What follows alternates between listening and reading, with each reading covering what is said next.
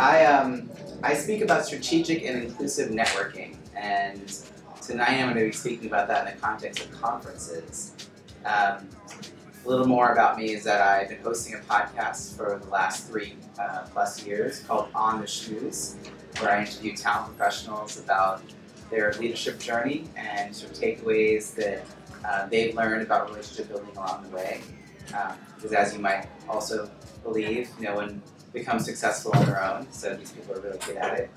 Uh, wrote a book, um, which I'm proudly standing next to because it's a 80% of people in the world want to write one, 1% does. So if you're thinking about it, I encourage you to do it. I'm not, it's a very, very different 1%. And um, I am selling them. I'll sell them at a discount from what I have them online. They're on Amazon, but I'll give you 25% off. We'll talk about that later if you're interested. Um, and I also do some coaching. And uh, so essentially, I, I want to talk about conference experiences because uh, they take a lot of time, money, effort, resources. Who here goes to conferences at least once once a year or so? Yeah, all right. So pretty much pretty much everybody. Um, and you go like because there's an opportunity to learn something, uh, but you also go because there are people there that you want to meet. And I know that even though I don't know you, because there was a study by the International Association of Events and Exhibitions that said that 73%, I think, of like nearly 9,000 respondents said that networking was the top driver for why they chose to attend an event. That makes sense, right? You know, people leave their house to meet people. But then you probably also realize that you and others get to the end of a long weekend and feel like maybe it wasn't worth it. They didn't really meet the people they wanted to meet. So like, why is that happening? If people go because they say it's for networking, almost three out of four people. Well, there's another study by Harvard that talks about how people networking makes them feel icky. networking makes them feel dirty. And so, you know, that's the problem. If, if networking makes people feel dirty, then they're going to get to the event and not do it, uh, even though that was sort of their intention. So if you're flying across the country, you can't just be going there for content. Uh, trust me, every everything I say to you right now, you can just get literally you get it by reading a book. Um, the old-fashioned way of getting content. You could listen to a podcast. You could look at a webinar. So content alone can't be the reason you're going to events. You got to be going for the connections. So then, how do you make sure that that actually happens? So tell me this resonates with you. You go to an event and you meet. Is this gonna switch? Oh, come on. You meet lots of people. I can switch it this manually. All right. So you go to events. This is a stack of business cards in front of a keyboard, right? You go to events. You meet a lot of people. You collect a bunch of business cards. You go home and you put them next to your keyboard because you're like, you want to make sure that you you know, follow up because that's that's your intention at least. A few days go by and you realize the stack of cards is kind of just becoming a mess. So you take them and you neatly organize them and you put them in the back corner of your desk. Does anyone have a box they keep their business cards in? Mm-hmm. I resemble that remark is what I'm getting from the back of the room. Mm-hmm. I love it. So okay, so you got this keep you know, you got this little box, business cards, nice and neat. And then you know months go by, spring cleaning time, that box is now overflowing you're like, oh, let me just take them, organize them, nice and neat, and you take them and you put them in a drawer, right? And then a year later, you discover them in that drawer, and you can't remember where you met these people, what follow-up you were supposed to do, and whether you had done any of it. Does anyone resonate? Yeah? Mm-hmm. Resemble that. Okay. And what do you do? You take the cards, you recycle them because you know we're social conscious people, and then what do you do? You go right back outside to another event to start the cycle all over again. So I want you to just stop wasting time networking. That's not effective. I would actually like you to go to fewer events and get more out of it. I want you to be choosier. Why this event? You know, out of all the events you could choose, why are you going to this one? You know, I want you to have a really clear sense. In fact, if you write your follow-up email draft before you go to the event, think, okay, you're not sending it you haven't met anyone yet, right? But you draft that message. If I met the ideal person, what would I want them to know about me? What would I want to offer them? What would I, you know, how would I want to stay connected? You draft that message, and now, now think about it. Okay, couple this with tracking the cards. So when you're at an event, making sure that you, you know, the cards that have a higher. You ever been like in these tight networking circles and everyone's sort of standing around, and then some guy starts handing out his card. So then everyone starts handing out their card, and next thing you know, you've collected four or five cards. Look, you're at a poker game. You're like, what do I have here? No, that's not helpful, you know. But you, you know, those cards are fine, but the cards from like the one-on-one conversation where you really got into a Paige and I had an amazing conversation. I don't want to lose track of what a great name for your business, by the way. Very nice. So, uh, so you know, I don't want to like lose Paige's business card in a random stack because I want to make sure we follow up. So I take the card and I turn the corner. So when I get home and I drop it on the table, I can see it right away and pull it right out. So if I can do that and I have a pre-written message and I schedule time for a few days after I get home, within two days, within two days of coming back, you know, if you get back Sunday night, you're not going to immediately sit down and do it probably because you got to like say hi to your dog and you know your inbox and your partner. Maybe that that's not the order. You should probably say hi to your partner first, but I digress. So. Um, you know, you, but if you schedule the time, you have an hour in your calendar by Tuesday, and you have, wouldn't you? Who would follow up? Right? You do it. But if I'd asked you three seconds earlier who was good at follow up, people don't usually raise their hands. Oh, we got one in the back. Next month, this is who you're gonna have come in. follow up is so key. Are you in sales? Yes. See? That's understandable. So, um, I, I really think there's a difference between collecting business cards and building relationships. And I want to go back to this. I forget. I don't know this thing. Um, I want to go back to this other idea here about um, about like these tight networking circles. So I'm you're getting like my top hits. This is my like you know 10 minutes my my like uh, best of reel. So my book is called Croissants versus Bagels, and like as you see here, on one side of the screen, on the right side, you've got people clustered in these little tight circles, these shoulder-to-shoulder huddles that are impossible to break into. Yes, you can relate, you've seen this. And on the left side, people are standing in a much more open you know, stance. And there's actually a little opening. So there's two little clusters, but it's clear there's a way. If I wanted to walk over, I could I could wander up. That left side is the croissant. You see? All right. How do you do this? So I want everyone to actually stand up for a second. We're going to shortcut this, but we'll make it happen. I want you to stand shoulder, shoulder, uh, feet, feet shoulder width apart. So your feet are shoulder width apart. Put your right leg half a step back, just half a step back, and turn it to the right, just to like two o'clock. This is not first position. You're not like no wide stance. Okay, and now put, when you do that, so so again, shoulders shoulder width apart, right leg back half a step, and then turn to two o'clock, and then just like get into the back leg, like put your body weight on your back leg, like kind of you know, just like bounce in it for a second. I want to see everyone bounce for a second. Bounce in it, feel it. Yes. cool. All right. The good thing about this is if you were to stand for the rest of this presentation, which you know, you could just switch legs. So now switch, put the left leg back to like 10 o'clock, right? And yeah, just like, get, feel it. Listen, I can tell you that it takes effort, but you can learn how to stand like this. Now Paige, who's now the person whose name I know, Paige is going to come over here, okay? And you all can sit down so you can see this. Paige is going to come over here. So Paige, just stand here facing just me. She's standing with her feet just shoulder width apart, normal. If I was standing like this, this feels more closed. But you don't move, and I just do this and put my foot back. And now suddenly there's space. What's your name? Julia.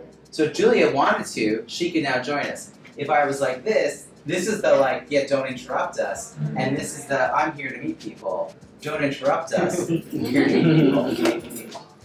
Excellent.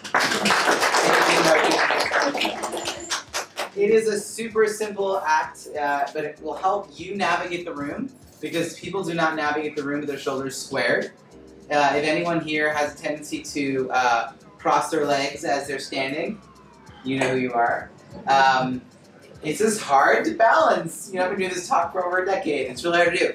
And also, you then have to, un- if you're trying to move away from a conversation, you have to untangle yourself in three different maneuvers. Where here, you're already in a walking position. If you want to go any direction, you can just start moving. Okay, you just you just kind of go.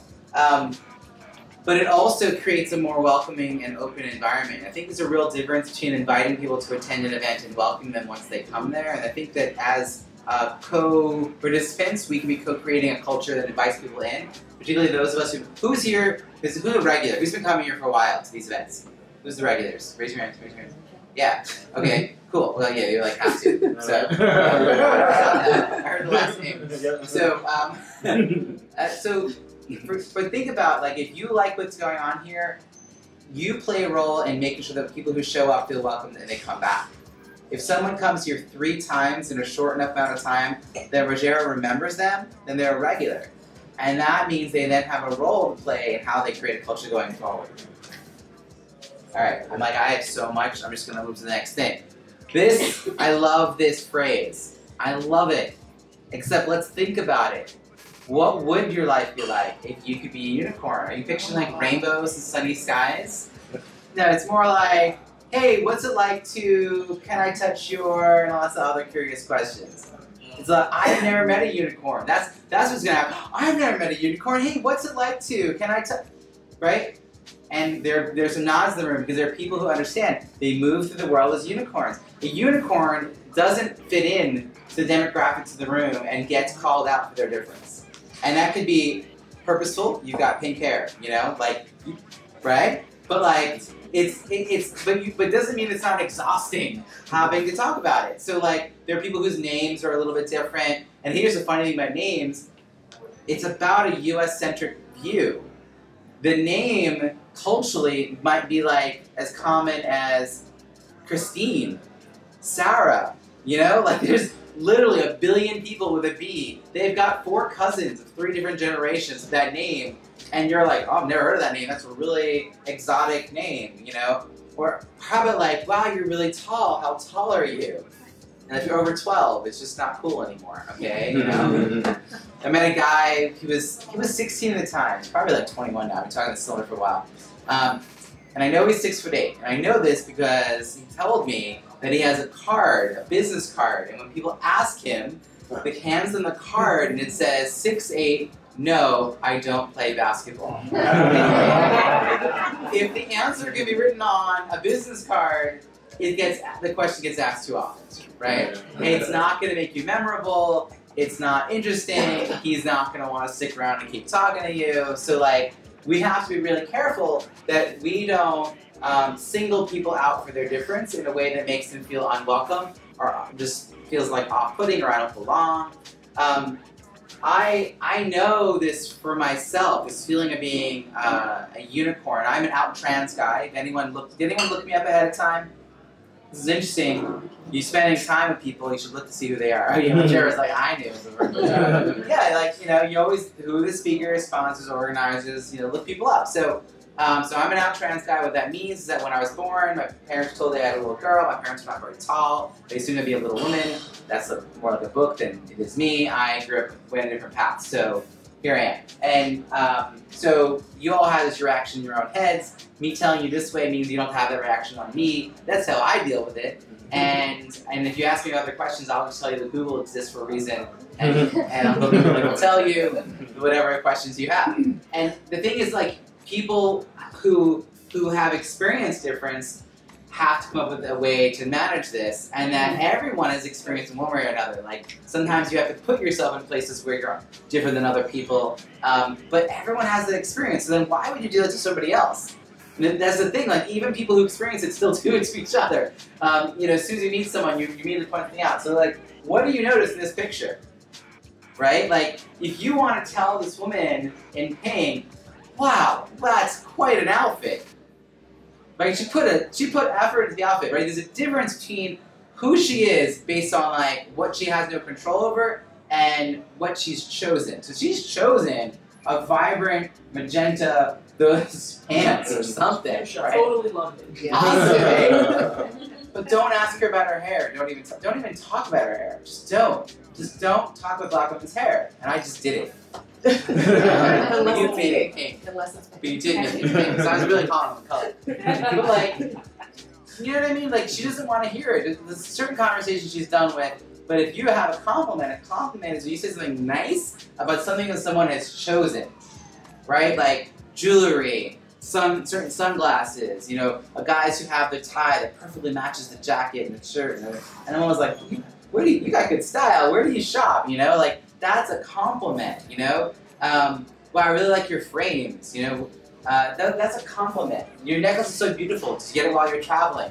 And then you find out they got it at Target, a partner shopping. It doesn't matter. Like whatever you say, still brings people forward. So just be aware that you know what is that first thought that comes to your head when you meet someone, and if it's merely out of curiosity, like hold on to it. Now there's a point where what's your name? Gardit. Gardit. If Gardit and I get to get to know each other, there's a moment where we're going to share grammar recipes. That's when I can start asking more questions because I'm also going to share more of myself. Up to that point, it's it's like we're not there yet. You know, this is true if you've just met someone, they join your team at work, and you're experienced and they're new, if they're an intern and you're a boss, like there are moments where I had a friend who um, asked a server where she was from, and this is such a load. This was a loaded question ten years ago. It's an even more loaded question now. And when the server like hesitated and then said some Caribbean island, and they walked away, I asked my friend, "Oh, are you collecting them all? Did you, did you get? Are you done? Did you, got all of them? Like, what are you talking about?" I said, "Oh, I figured you were trying to meet someone from every island." And she's like, "What?" I'm like, "Well, then why were you asking?" Oh, I was just curious. I'm like, you know, our server really doesn't have like choice to respond. Like our our tip is her salary. You know, like she has to respond, and you just don't know where that conversation is going. So it's just like being aware of the the impact that you have, and whether people feel like they're comfortable and able to stay with you. Okay, this is a different piece of this, which is that when you're at the event, right? The last piece was about like if you're gonna make it to meet people, don't screw up on on saying hello. But here's an opportunity to say hello to people that we always miss. We're at a breakout session. These X's are people. See the left side of the screen here? You've got three people sitting in a row, not talking to each other. Where are what are they doing? They're doing this. Their heads are down, right? These these people know each other. People sitting next to each other, they know each other. They work together all the time. So that's why they're sitting together. And you're just thinking like, what a missed opportunity. There were thousands of people at this event, and you chose this session, and some of these people, and most people aren't even here yet. These people ducked out of the vibrant, chaotic hallway to come into this session.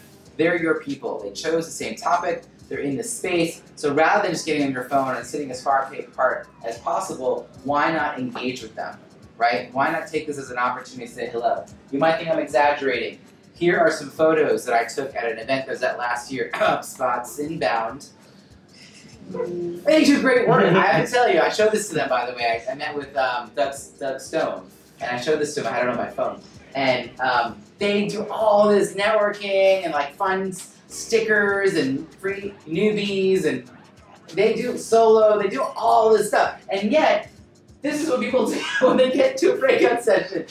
One, two, three people along the wall here. Up ahead, one, two, three people along the hall. On the aisle, one, two, three people. And then there are these people in the middle. You see this? This is an island. He's like, no one can talk to me. You know, like I don't want to be one of those people who takes an aisle seat, but I'm not going to talk to people. So you and okay, this one's even funnier. Same session. Mm. Same session. Wow. By the way, this was a session on networking. I did not uh, lead the session. I was there to support a friend, um, and there the speakers up front. Uh, you know, not reading people. They're just like waiting for the presentation to begin. Um, we got in. We were all. You know, they make people stand outside like in a queue, and then they open the door, and everyone rushes in to grab an aisle seat. Six rows deep. Only the aisle seat. Everything else is empty. So what I do is I introduce the person in the back right the person in red, and then the person in red the person in green. The person, the guy in blue, he was like this. He like put his phone down and prepared himself. um, and and I got them all talking to each other, and that's all you gotta do. You just gotta interrupt it. You know, if the room stays silent, then everyone, including me, will be silent as we walk in. If you can disrupt that, so if HubSpot were to train people, the speakers, volunteers, to like ask questions, have a question on the board. You know, you could do something like this. Uh, boom. Here where colleagues go mingle, here alone, don't stay that way. And you could like just reinforce that kind of mantra so that people know this is a space for us to engage and connect. This is the purpose of this. The funny part is that a lot of these messaging at every conference I go to is said in the first timers orientation, but not repeated. And so people who've been going for a while just like stop remembering that they're here to meet people other than people they already know. And, and so they just sort of miss that, that piece of it. And so, you know, we could have people sort of mingling and engaging a lot more. And so any one of us can be the host. You know, being a host and having a host mindset isn't about who is it, uh, you know, booking the room. Um, it's not any of that. It's like, you know, clearly you're the host, but all the people who raised their hand, who's been here three times? Yeah, you're all hosts. You're all regulars. Like you've been here, you've been coming, you know people, you introductions. So this is like part of like the co-creation of that culture. Um, I think that was oh yeah okay that was my ten minutes. There you go or more, but or more. Um, I have a little giveaway top: ten tips for conference connections. Um, you don't need to capitalize the end. I'm just being respectful of your, your branding. Thank um, you. Lowercase is fine. Appreciate it. and Yeah, yeah. So, um, so you, you type that in. It's an email opt-in. If you like it, stick around. If you don't, subscribe. I write a weekly email, a little story, learn about my life, and get a little challenge for how you can update, you know, improve your own life. Um, you'll see my book stuff there and my podcast. Um, I have books for sale, usually 20 bucks. I sell them for 15. Cash, Venmo, personal checks, whatever. Um, we'll figure it out. People are interested, and I'm happy to sign them. And that's my story. Everybody.